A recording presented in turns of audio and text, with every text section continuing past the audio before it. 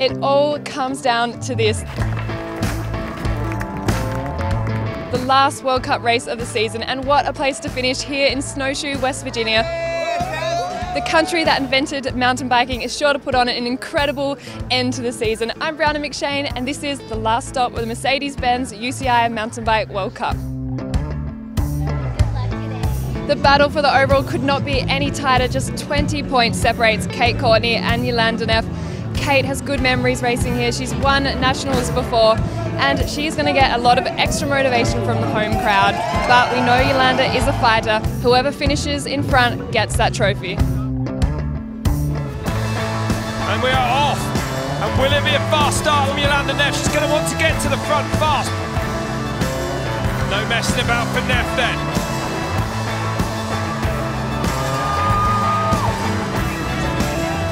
Fast track here, not so much climbing on this one. We expect the pack not to really uh, open up too much. One and two in the series out the front of this race at the moment. Different lines down through these rocks. Annie Last there, looking for a big result at the end of the year. Neff going back to fourth now. Oh, Neff is really in trouble here, Bart. There's no power left in her body. She is really in trouble here. Hard to watch. And Kate knows, and she's pushing hard. She is watching the World Cup title just slip away from her with every rider that goes by her.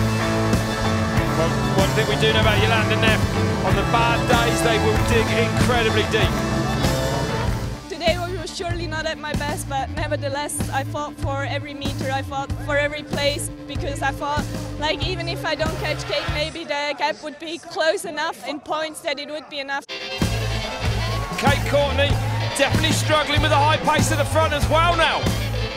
Something is going on with Kate Courtney right now.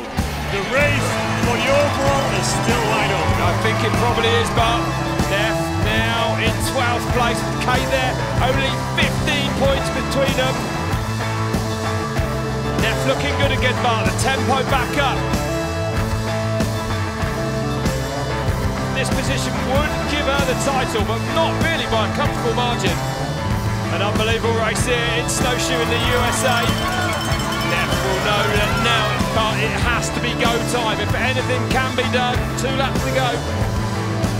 So Terpstra really stretching out the leaders. Ferrand-Prevot goes through in second. And all of a sudden, I would say Kate Courtney starting to look a lot more composed than we saw her a couple of laps ago. Ferrand-Prevot, can she close that gap on Terpstra? Ah, flat tyre for Jenny Rissveds. Kate Courtney now gains more points towards that overall. The downside, pushing hard. Ferrand-Prevot is coming back. And look at Pauline Ferrand-Prevot. Here goes Pauline Ferrand-Prevot then. And she takes the lead and cuts Terpstra off. And it's Pauline Ferrand-Prevot who has an incredible couple of weeks. Takes the win here in Snowshoe, her second World Cup win winner 2019. Terpstra have taken that second place. Annie Last is going to come up to take third, her best of 2019. Another strong performance for Rebecca McConnell. Stars and stripes all around. It's been an unbelievable season. Your World Cup champion for 2019, Kate Courtney from the USA.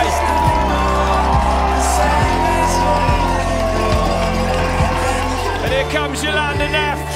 Today was simply not her day. The consistency's been there, the wins haven't, but she's got to be happy really with this year. But I'm letting goo. Yeah, it was a sort of tough uh, week because with the World Champion title, it was a lot of solicitation. So finally, I could manage it, and to win today, it's a it's a super big win for me.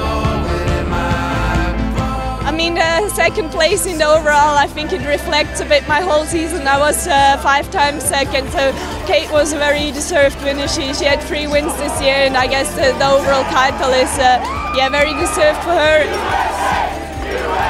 Oh, it means everything. I think uh, the overall title requires, you know, delivering every time and really um, racing smart and never giving up, and that's something that means so much to me at the end of a long season.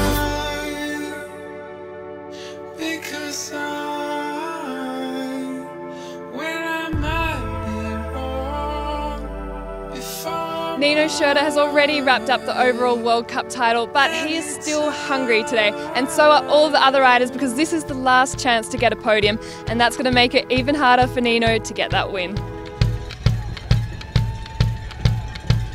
And they are off then, the final race of the 2019 World Cup season is underway.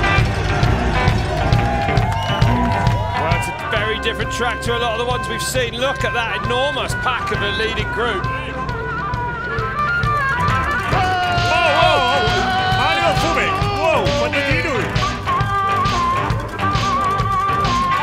There's out front, driving the pace. Haven't seen it looking good at the front there, the number three. And Schurter has pretty much pulled off the track. It's like a track cycling race do it? Look at this. It's a big group that just keeps getting bigger as well. I expected close racing. I don't think I expected racing this close. Avancini sprinting to that uh, single track. And Avancini now is definitely upping the tempo, upping the pace here. Not a lot of love lost between these two.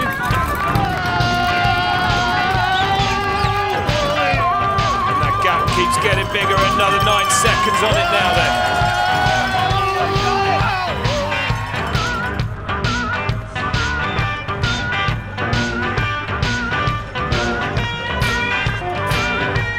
Ah, he has a flat.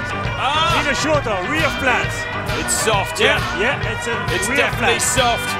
What's he going to do if he stops? But surely the winner's gone. And, here we go then. So drama in this final. Nino Schurter pulls in with a flat rear tyre. You can see there how little tread they've got on those tyres. 49, 14. He stopped. So well, let's see how long it will take. The rear goes in, the axle's back in. It's a good one. It's a good stop. He's going to come out with that chasing pack. 20 seconds right now. So go. 25 seconds he lost. And what will Avancini's tactic be now? Will he go or? He has to go flat out.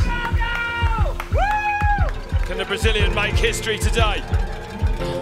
He would be the first Brazilian ever to win a World Cup downhill or cross-country race. 27 seconds that gap then. Fumic getting on his wheel. Nine riders in that chasing group. He's got a good gap. He needs to try and protect it if he can, that is for sure. Oh, they're not that far back, but and Schurter already bringing that gap down, I'm going to say. 20 seconds now, I'm right.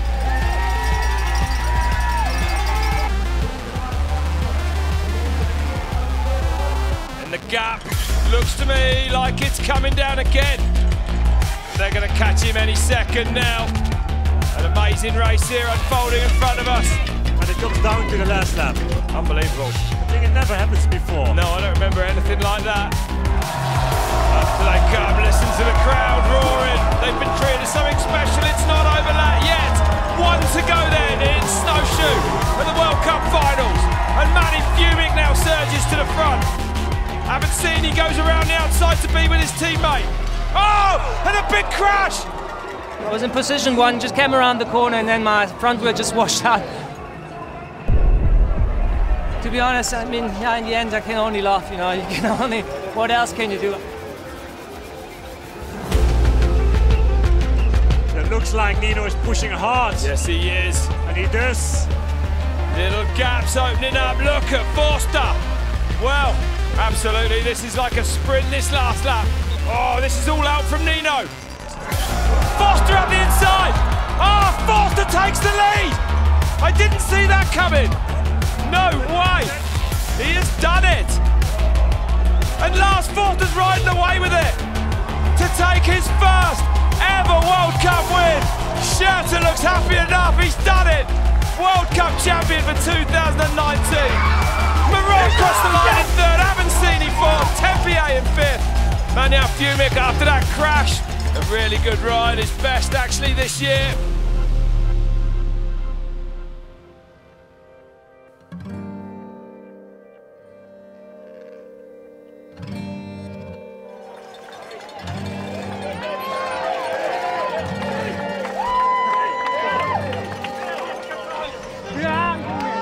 Exactly. You go to the Olympics, okay? I hope so. Well, I don't know. I, I, I had the feeling. I had the feeling yesterday. I had the feeling this morning. That's a good race. The course suits me. I felt great. I wanted to, fi- to finish the season on a high, and it's the way I dreamed it. It's uh, it's amazing. I have no words to describe the feeling because, uh, as I said, it was really, really heavy year for me, and it's like uh, proper emotional today. Yeah, it's, it was a crazy season. Didn't start it so well, but uh, now I'm uh, so happy winning uh, World Championships, winning the overall, winning Cape Epic. Uh, it's insane. I'm, I'm super stoked. Yeah. That was such an amazing race. I could not have asked for a better way to finish this season.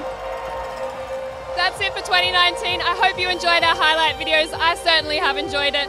Let us know what you thought in the comments below, and we'll see you back in 2020.